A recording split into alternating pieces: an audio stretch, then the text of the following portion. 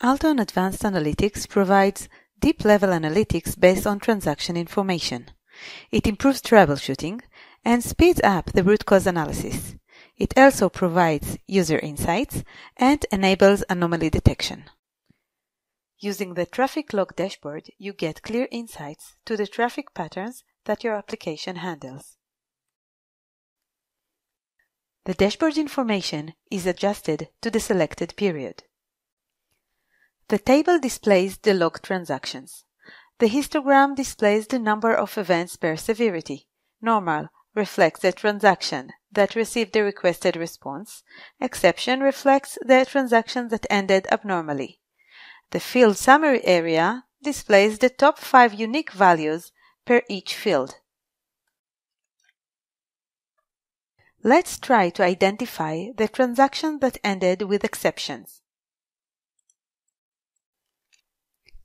Three types of exceptions are identified, most of them due to 400 response code, but there is one transaction which ended with a 500 response code.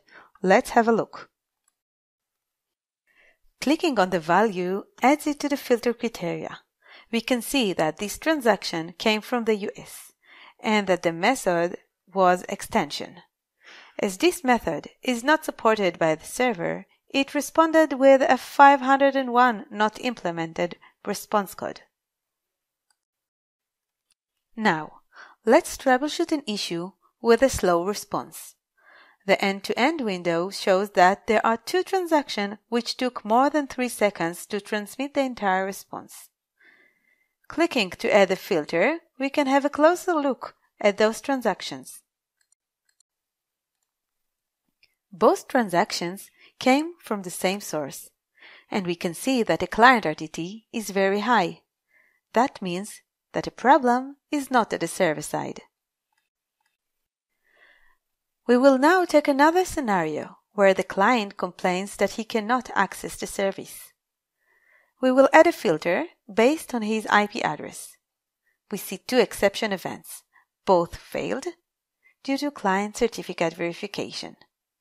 We now know that we need to check the client certificate. Another way to troubleshoot exception events is by using the histogram to pinpoint these abnormal issues. The height of the bar reflects the number of events at this point. Clicking on the bar will focus on these events. We see that each one failed for different reason trying to understand the 400 response code, we can see the client information and that he tried to access a path which does not exist on the server. That's it for now. I wish you all easy troubleshooting with Alteon Advanced Analytics.